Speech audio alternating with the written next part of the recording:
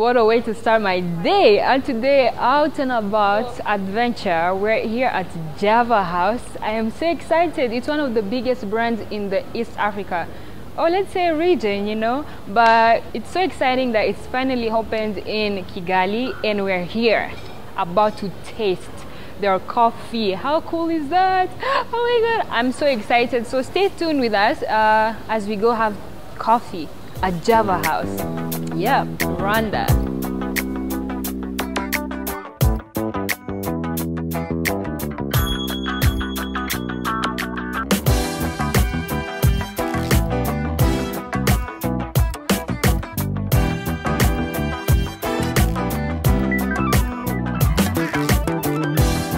Java House Africa introduced coffee drinking and gourmet coffee culture to Kenya in 1999.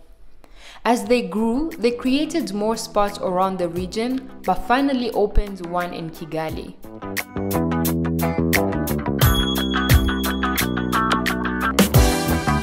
Java House Africa is located in Kigali Heights. My target today is to taste their coffee and enjoy the environment. As I was enjoying the view, I was joined by a good friend of mine, and just like me, he had a mission and his mission was to taste their food. So, Lauren, tell us about yourself. um, I don't know where to start. I've been in Kigali about three, almost four years now. I'm from Chicago, from the States. Yeah. and um, I do a lot of stuff. I kind of like I was thinking Kigali. So I run Eat Out Rwanda, which is just getting started this year. All about food. So being in Java today, you know, a little work, a little food, both yeah. things I like and um, I play the violin, so I'm a musician, and I also teach dance, ballet. Um, lots of stuff. That's so cool. But yeah. being a foodie, I mean, because if you run Eat Out, you have to, have be, a to be a foodie. So, how did you find out about Java?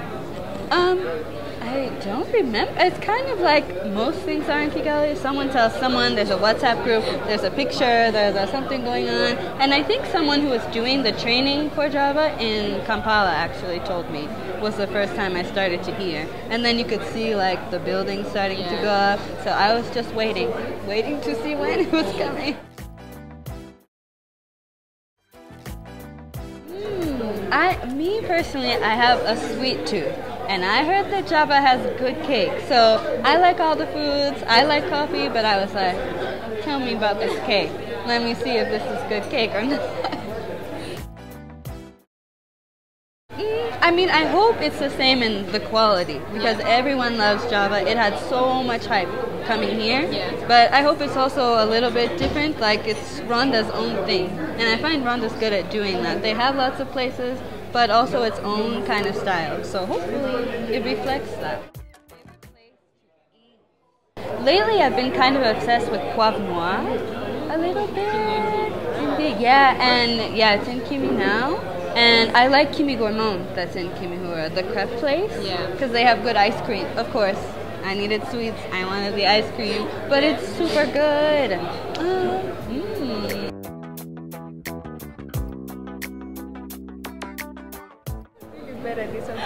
but how long have you been in Rwanda? Uh, I've been living in Rwanda for about a year and seven months now. Okay. You've been here for seven years and seven months. Uh, One year and seven months. Did I say seven years? Yeah. Sorry. uh, what is your favorite place so far in Rwanda?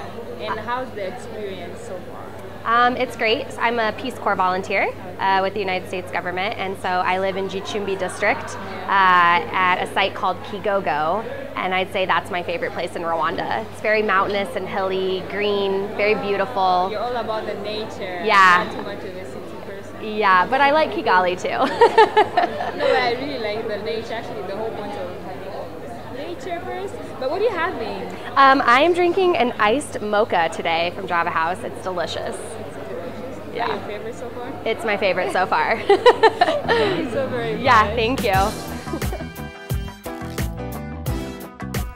After having my coffee, I headed to visit Soho Fitness. Soho Fitness is located in Kicukiro, on the left road opposite the Simba branch in Kicukiro.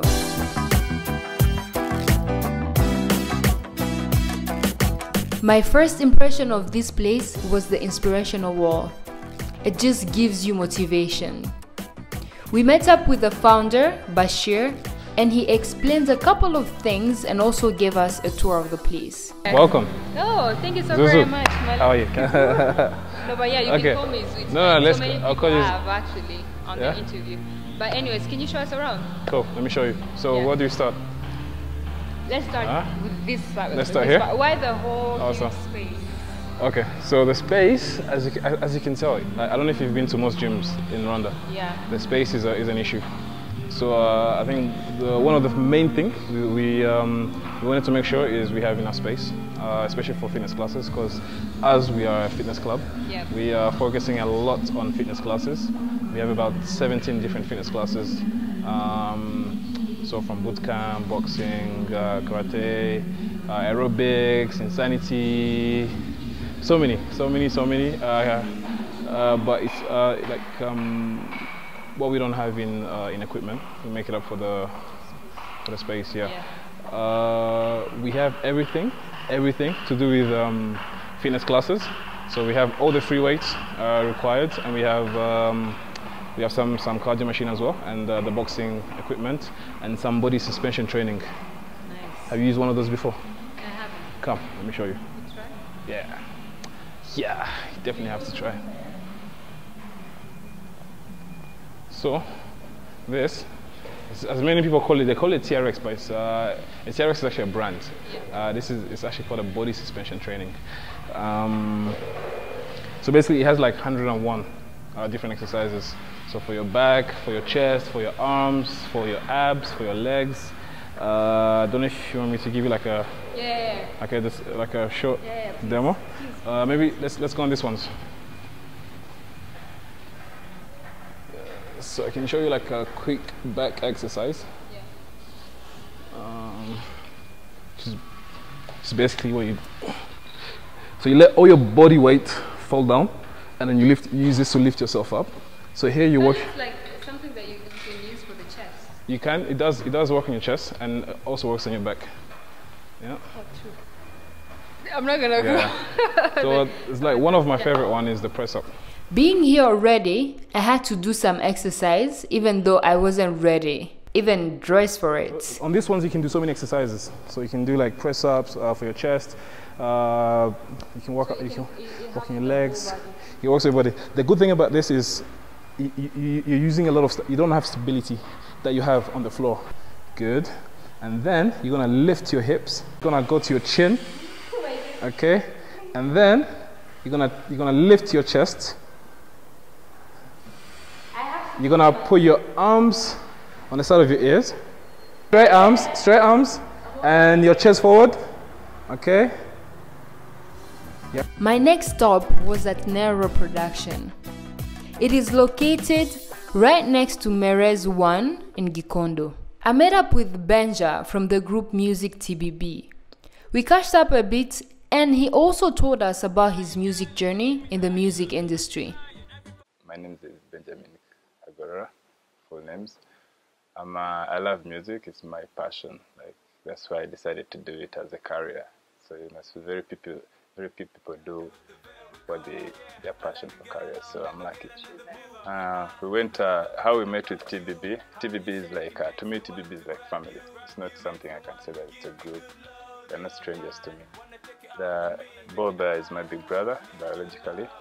Tino is my big brother too, uh, and uh, we've, we've met uh, way way before we were musicians. Everyone was a musician on their own. I was I was a rapper. Tino was a ragamuffin and MC as usual, you know, and uh, Bob was also doing R&B. And so when we came to Narrow Road, we were all working in Narrow Road like six six seven years back, and then uh, that's when we thought like we can do something different for the music industry. And uh, we talk, everyone was like, you guys, Benja, rap English, and then this one, we're like, we need to bring that up. You know? People need to listen that Rwandese can sing English. They can, they can sing something that goes beyond. That's when we were like, we need to blend it. We need to put something that's different. There were groups, there were already groups, and we would see what those groups are doing. Similar stuff. They all sing, they all rap, they all. So let's come up with something different. That's when I came up with rap Tino came up with uh, his raga, dancehall, then Bob came up with R&B, and then made TBB. It's like bringing three different things. Three different genres together, yeah. So because at, at, uh, at the end of the day, I realized that fans fans need something to unite them. You know, I don't, I, a fan doesn't have to be like I'm, I, I like hip hop, so I'm not gonna go for a Yeah. dancehall show, or I'm not gonna I'm not gonna go for R&B. So that's where we came in. We're like, how about if we bring these fans together and they listen? It's all music. Music is meant to bring people together. So we're like, let's do a genre that's going to bring everything together. Oh, that's, that, really awesome. How long have you been doing it again? Uh, officially, officially it's like five years officially, but then we have those two years of serious hustle. But we were seven years. We've been like together for seven years now. Yeah, TBB. it's normal. You have to have that You have to have that uh, you know, that hidden hustle. to go up. if anybody knows who you are, they, they, think you just came up, but you know you've been really struggling. Well, it's funny because I was there when you guys were still. ah wow, that's that's uh, that's nice. You're a witness at least. You can say that these guys, I know these guys, and they're nothing. I'm a witness for sure. And are you planning, let's say not now, but in the next future, to do your own thing? Because I know most of the Uh, groups sometimes they just grew not apart, but they just feel like they want to do something different for themselves Well, uh, and for some of their fans. Uh, about that, I can say, like I told you, TBB is family, so we're not. It's no, nothing can take us apart. You know, we Yeah. are still family. So even if I start during my my solo career as a hip hop artist, Yeah. which is part of our program, I won't lie that. Uh, when we got together, everyone has the genre that he does. So we came together so that everyone can put up, you know, can lift up that part of the music they do. And uh, it's it's gonna reach a point where we, as T, as TBB, we can still give you solo music. I can, as TBB, I can give you a song from Benja. It's gonna be a hip hop song, showing something else about me, but it's not gonna put TBB behind Yeah. me. TBB is gonna be part of that, part of Yeah. pushing me. It's gonna be part of the hope I have. So whenever it comes around, I don't want people to think, oh, TBB is splitting people. Yeah. It's part of the music. We, we know we have a lot of music to give you in Yeah. single packages and triple package. The producer also joined us and he told us a bit about his journey in the music industry as well as the music industry. Let's love one another. In whatever situation.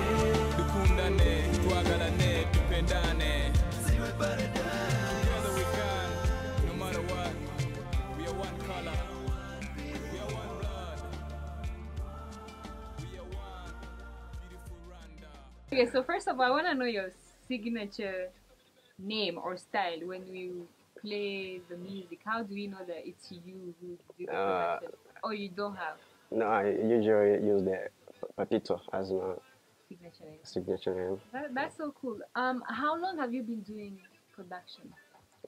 I think it's like two, two years. Two, three years. Two, two years. How how is it? Professional. How how is it so far? It's good. It's It's good. good? Do you have a certain style that you work with? Um, I think I can do all the style. All the style. Yeah. Really? That's that's really cool. What inspires you? Is it DJ Khaled? You know, they don't want you to win. Uh, Who is your inspiration be- behind the production um, part of it? you know, there's a there's a producer called Ledon. Yeah. He, he, he produced uh, his music uh, in the U- US. Oh, I think he's my he's my role model. So before doing the production, you just listen to him and you start Yeah. like yeah. Yeah. That's really cool. So I want to ask one like one question as a producer. How do you know that this person is a singer, that this person has a voice, that this person can sing and you're like, yes, he is a singer because produ- producers need to have an, an ear for the voice. Yeah? Sure. How do you how do you know that? Uh, uh, actually, I, I think everyone who talks can sing. Yeah, Yeah, as, as you see, if you can if you can walk, you can dance. If you can talk, but you not, can you, it's- you can you but can it's sing. not everyone who Uh, can no, sing. okay, okay. It's the confidence in you that Uh, brings you to sing. Actually, everyone sings. Every, everyone sing, but depends the- on.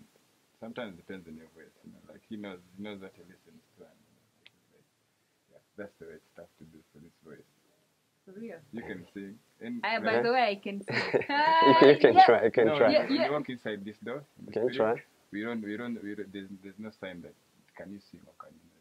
As long as you're in here, you can I sing. can sing. Yeah. But I actually can sing. I need a song with these people. Yeah. We've been planning we're gonna do a song. Welcome. Anyways, how has it been working with TBB, Benja, Bob, and Tino? Um, you said How has it been? good. Has been good? Yeah, They're good people. they are good people. They are good singers. I think it, it's it's one of the best group in Rwanda. Yeah, I, I kind of agree agree with you right there. And no, I I had one question. I just. but yeah, um, I've always been curious. Um, do musicians do musicians write lyrics first and then they take it to the producer to create a beat, or the producer creates the beat first and then takes it to the musician for them to write the lyrics first? What comes first? Is it lyrics, music, or beat? I think that part, that part varies with the artist. In the artists. And so some artists, some artists, they, they, write their songs on. They come with their words and then they talk to the producer. Like, I want to sing the song, it's in R&B, or it's Afrobeat, or it's hip. But they come, all, all in all, you gotta come with a mindset. They have to come with a mindset. And then there are those artists that come to the producer. This, the producers usually do so many beats, and it's like, I have this hip beat, the, uh, the best person I can give it to is this one. So he knows the best in this style. Yeah. Afrobeat, I'm gonna call TBB, I'm gonna call another artist to come and use this track. And then when that artist comes, they listen to the beat and then they start to create.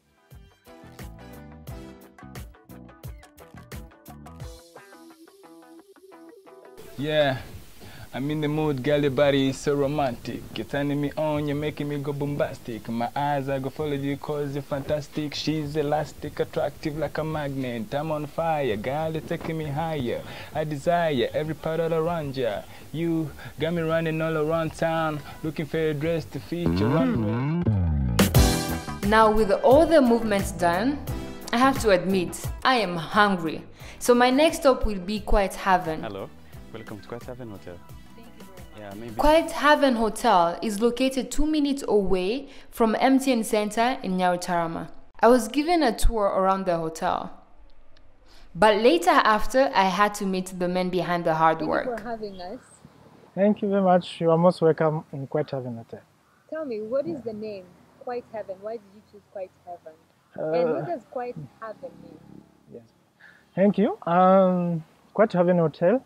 Um, we have chosen this name because uh, this uh, this place, first of all, it's so quiet and uh, there's no noise. Uh, normally, many people like this place because it's so quiet. If you want to do your business in a quiet place, this is the place to choose. This one year and and uh, eight months. It was a long journey for, for us because we have we have faced with different people, and also what we like, uh, the business is going for the way we want. Uh, we try our best to take care of our guests and try to uh, to make our guests to, to feel at home. So that's why now we are uh, one of among one of the hotel which is which is good one. So- First of all, it's how we take care of our guests. Uh, it's uh, it's it's a major thing we which we do in our in a hotel when the guest comes in our hotel. Feel at home. You may you may enjoy our products for everything. So. Quiet Haven, just like its name, it is located in a nice environment as well as a quiet one. It has a beautiful view of the sunset as well as of the convention center and of the Kigali city town. Later after, I had a seat with the chef and we also shared dinner together made by herself. Christine nkaba shefu shefeni wa kiceni ibiryo tugiye kurya ni rosete eshatu. Hari cikeni angireze hari fishi endi lemoni sosi hari bifu mariyaji